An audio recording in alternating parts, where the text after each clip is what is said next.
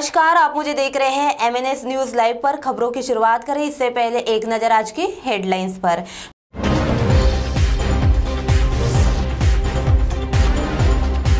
फिर बड़ा संक्रमण नौ सौ पचानवे नए पॉजिटिव दस की मौत।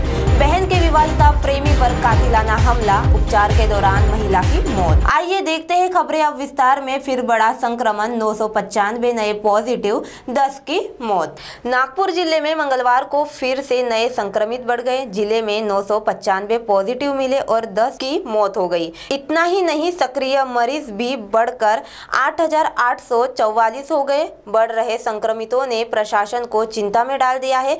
ज़िले में सक्रिय मरीजों की कुल संख्या पंद्रह लाख एक हज़ार छह सौ साठ और मृतक की संख्या चार हज़ार तीन सौ इक्यावन है।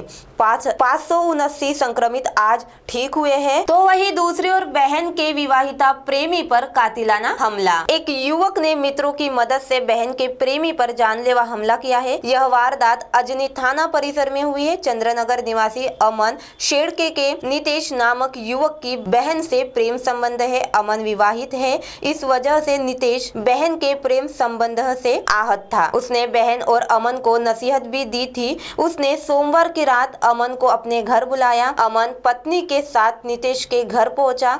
वहाँ नितेश ने सुनयन, खर्च और अन्य दो साथियों की मदद से चाकू तथा रॉड से हमला करके अमन को गंभीर जख्मी कर दिया। अजनी पुलिस ने हत्या के प्रयास का मामला दर्ज कर सुनयन को गिरफ़्तार किया है। तो वही तीसरी और उपचार के दौरान महिला की मौत। परिवार नियोजन ऑपरेशन के लिए भर्ती की गई। महिला की उपचार के दौरान मौत हो गई। जबलपुर निवासी 38 वर्षीय मुस्कान राजा गुलवानी को 24 फरवरी की सुबह ऑपरेशन कराने के लिए पाँच पाउली के मुखर्जी हॉस्पिटल में भर्ती किया गया था। तबीयत खराब होने से उन्हें विम्स हॉस्पिटल में भर्ती किया गया। वहाँ उनकी उपचार के दौरान मौत हो गई। पाँच पाउली पुलिस ने आकस्मिक मौत का मामला दर्ज किया है। अब आप हमारे चैनल को ऐप पर भी देख सकते हैं। प्ले स्टोर में जाकर एम एन हिंदी लिखे और ऐप डाउनलोड करें।